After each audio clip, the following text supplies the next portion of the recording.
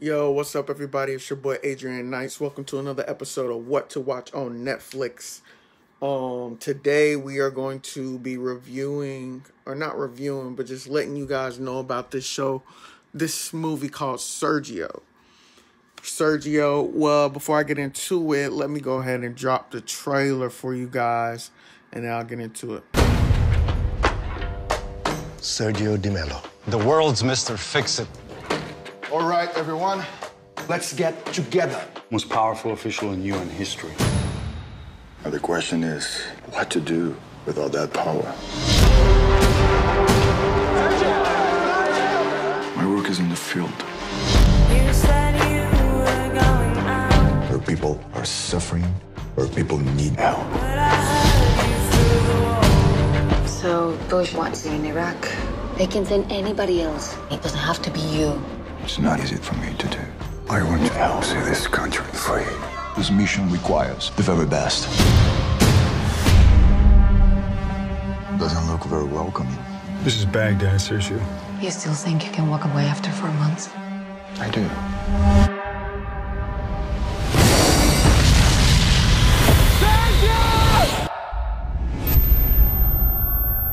You hear me? Are you okay?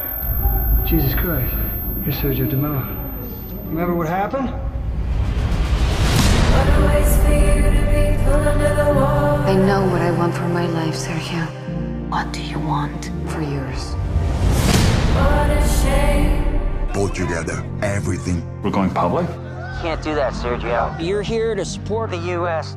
That's the only reason you're here. The reason I'm here is because you broke it and you have no idea how to put it back together. I speak. Is the UN just a cover for the American occupation? Don't suggest for a second we're here supporting the United States or the coalition. Hey, I need you to stay with me.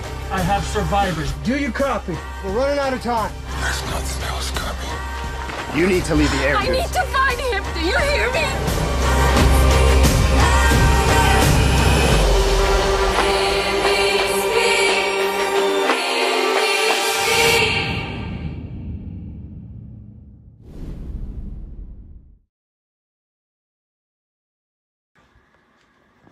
So there was a trailer, um, and again, the name of the film is called Sergio. It's out on Netflix. Um, I like this. Well, I- it was alright. It was alright. You know, it's about this guy who basically, um, he's a politician. He's a negotiator. He he goes in there and fixes broken things that other fit people, you know, broken situations between cities, between um, groups of people, countries, whatever the case may be. And um, this film shows him basically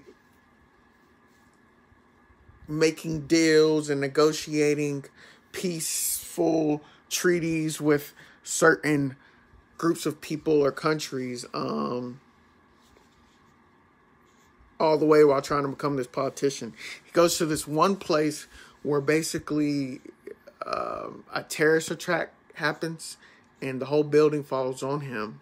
And while he's under rubble, the movie basically goes through his life, um, through different phases of his life, how he's met his wife, certain deals that kind of put him on the pedestal or got him, um, you know, known for what he was. Um, it's an alright film. I would recommend this to be watched if you have nothing else to watch on Netflix. If you're going through all the movies, um, now that COVID has happened, this is a movie that you'll want to see. It's, it'll be worth your time. um, it's on my list. I would rate this a six. I give this a six or five, um, which is kind of low, but still, it's something you could watch and enjoy. So, yeah, um, that's it. I'm your host, Adrian Nyce. Um, thank you for enjoying another episode of What to Watch on Netflix. Um, stay tuned till next time.